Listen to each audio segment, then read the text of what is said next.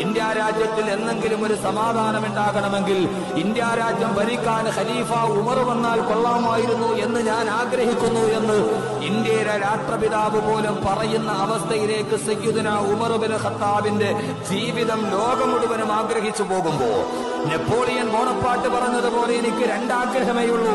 ഒന്ന് ലോകം മുഴുവനും പിടിച്ചടക്കണം. രണ്ടാമത് പിടിച്ചടത്ത് ലോകത്ത് ഉമറിനെ പോലെ ഒന്ന്